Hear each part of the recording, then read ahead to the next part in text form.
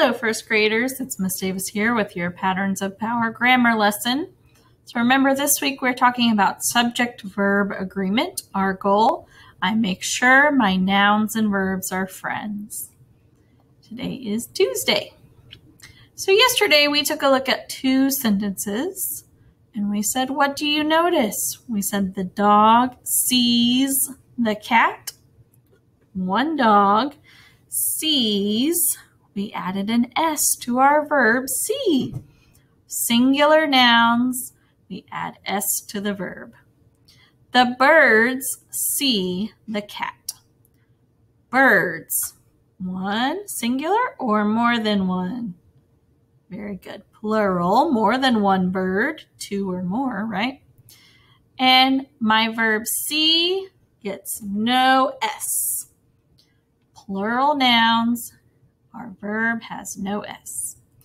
All right, friends, I wanted to remind you all nouns can be singular, meaning one, or plural. Singular nouns like cherry, farm, mouse, box, leaf. Each of those mean one, right? One cherry, one farm, one mouse, one box, one leaf. Those are all singular. Plural, that means two or more. So two cherries, two farms. Ooh, mice. This is a fun one. No S at the end, right? Mice, two mice. Boxes, two boxes. Leaves, two leaves.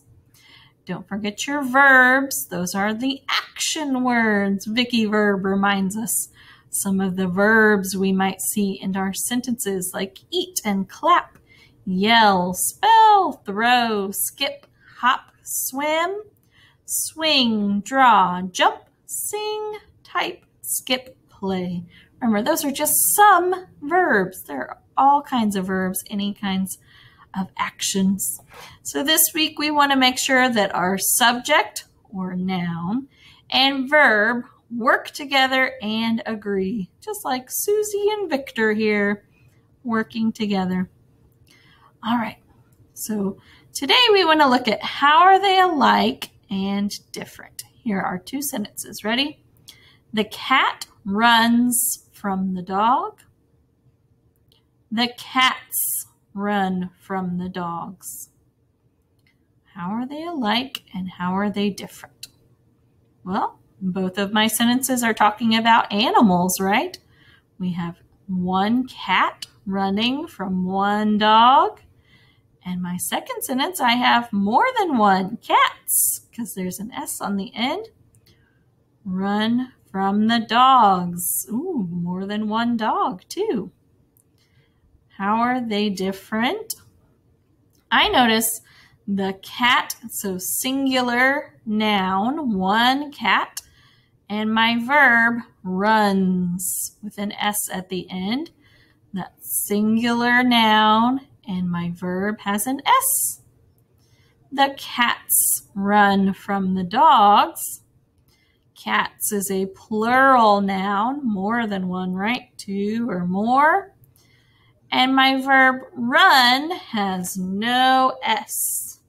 Plural noun, no S on the verb. All right, my friends.